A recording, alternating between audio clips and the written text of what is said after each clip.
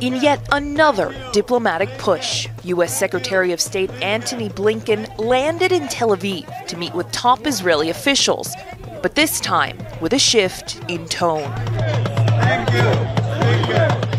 It's Blinken's sixth visit to Israel since October 7th, and this was a chance to express Washington's disapproval of the impending ground invasion of Gaza's southernmost city, Rafah.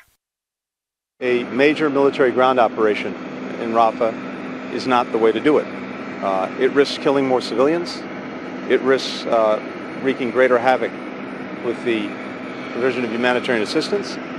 It risks further isolating Israel uh, around the world and jeopardizing its long term security and standing. But Prime Minister Benjamin Netanyahu maintains a ground offensive in Rafah is the only way to achieve what he calls an absolute victory. We have no way to defeat Hamas without entering Rafah and eliminating the rest of the Hamas battalions there. And I told him that I hope we will do it with the support of the United States, but if we have to, we will do it alone.